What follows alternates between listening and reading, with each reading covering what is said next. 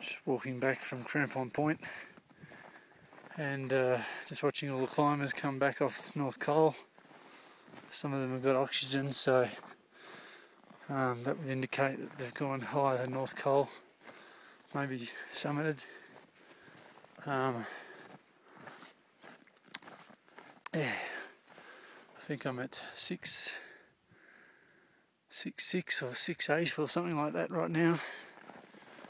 I'm trying to get through all this ice. I'm just on the edge of all the, the main glacier that comes off, that comes off Everest. All this stuff here. And crampon point is where they put on all their crampons and harnesses and they start going up that bloody big ice face up there. I think Dad's waiting for me down down below because it's pretty tough getting up here. Um, it's a beautiful day.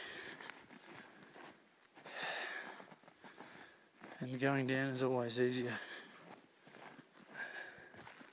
And I think like I said before, this is the highest highest trek you can get that you can do in the world without having to put on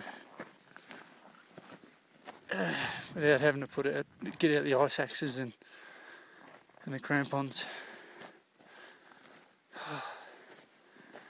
and I think the air is about 50% thinner than um, than at sea level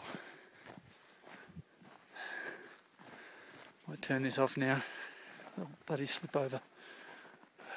Alright.